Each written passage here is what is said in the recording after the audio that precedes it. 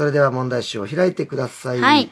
それではさやね、課題文を読んでください。はい。あなたは万引き犯を発見しました。罪の重さをしっかりと感じるよう反省させなさい。はい。さあ、万引き G メン役はさやねでございます。はい万引き容疑者は大悟でございます。それでは行きましょう。お願いします。あー、あの人、取るよ、取るよ。はい、行くよ。ちょっとお客さん、お会計が終わってないものありませんか？おなんやなんやなんや。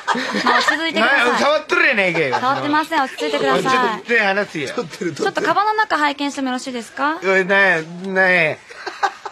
おいなんもなかったらどないすんね何もなかったらそれでいいですよ。んなんもなかったらどないすんねんお前。万引きしてるでしょ、見せなさい。謝らんかいそれなんもなかったら謝るよお前。何もなかったらね。ほら、このワンカップのお酒、レジに通してないですよね。おいちゃうやないかこれわし持ってきたやつやこれは水筒にしとんねん監視カメラにもあなたが撮ったところが映ってますので、今からすぐに警察に電話します。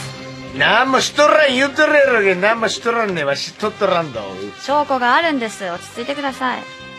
そういう風には見えないです。ちょっとご家族にご連絡しますので、電話番号教えてください。勘弁してください どうしてですか？あのすすいませんでした。違うんです。